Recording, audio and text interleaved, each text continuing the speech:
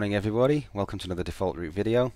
It really is morning in every sense over here, it's about 20 past 1 and I'm pretty tired so we're just going to go straight into this uh, OSPF configuration today. We're going to look at a basic topology, we're going to configure backbone uh, OSPF area, we're going to configure a little bit of stub area, we're going to configure an NSSA area and um, hopefully uh, a couple of tweaks and tips along the way. So let's get started. Yeah, is everyone okay? Yeah. Is that is that you, Arnold? Yes. Oh, mate, it's good to see you. How are you? I am good, my friend. Very good. So we're going to get started. Uh, everyone, just chill out, and um, here we go. So.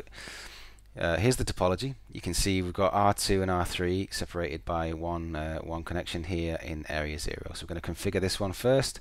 Let's jump straight onto R2. Um, here we go. Configuration mode. Uh, router OSPF is the command to start to configure OSPF. We now need to choose the process ID. So you can see there the process ID, anything between 1 and 65535. It's locally significant to the router only. It's totally uh, personal choice what you go with on here. I'd say if you were in the lab, you'd just choose the easiest option. I tend to go with 1. Uh, I can't forget that one.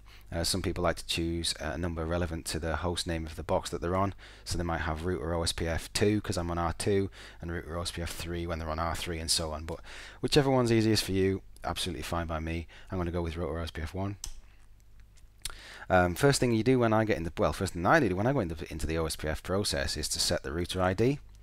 So the router ID, if you didn't physically uh, select it, would be um, the, the, the, the loop back with the highest IP address, it would just choose that IP address and that would become your OSPF router ID.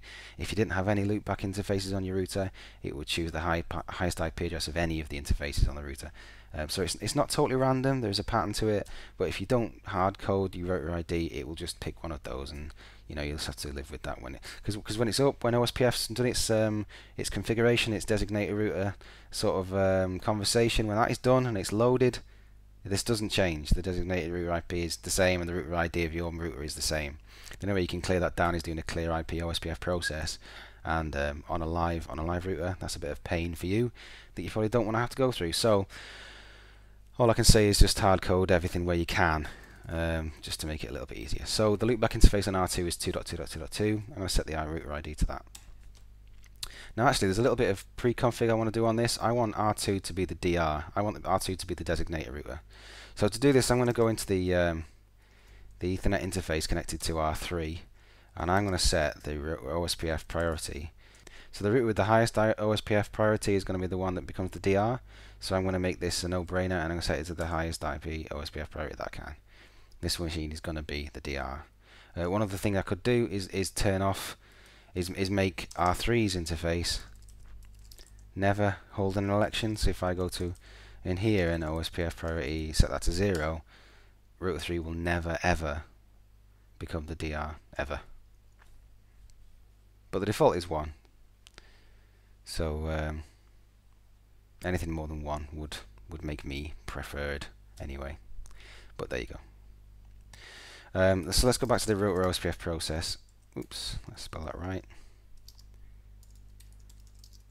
So now we're going to configure the actual uh, interface to go into OSPF. So network is the keyword. Then we state the uh, network interface IP address.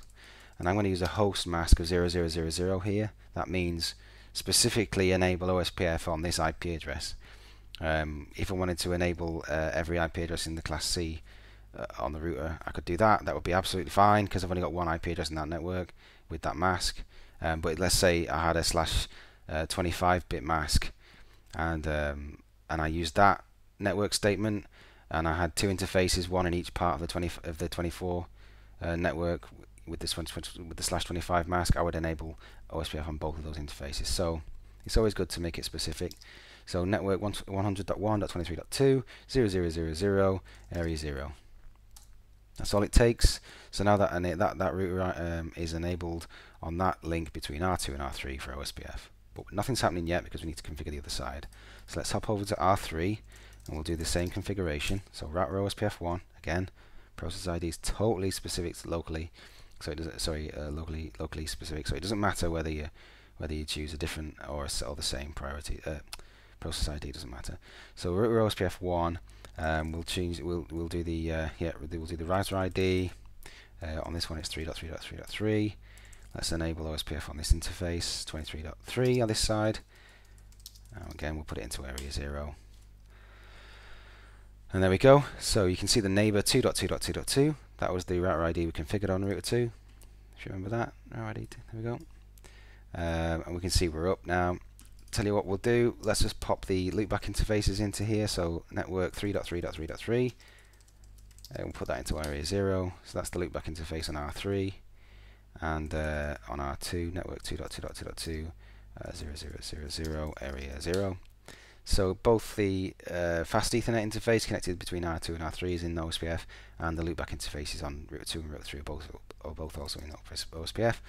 Let's just do a show IP uh, route there, and we'll see the loopback interface of route 3. There we go. Um, we already know IP is up, uh, the OSPF is up, but we can just do a show IP OSPF neighbor just to just to show you guys that command. Now remember, um, we set router 3 to be a priority 0. Remember that? Uh, it's a DROTHER because it will never, ever, ever, ever become a BDR or a DR on that link because it's set the priority to 0. If we look on R3, we'll see that R2 is um, is the DR, and we do because I've got I've set the highest priority of 255. Uh, so I've got a full network, uh, full, full, a full OSPF adjacency, and um, row 2 is the DR. So that's OSPF uh, configured on the backbone, and uh, let's move on to setting up the stub between R2 and R1.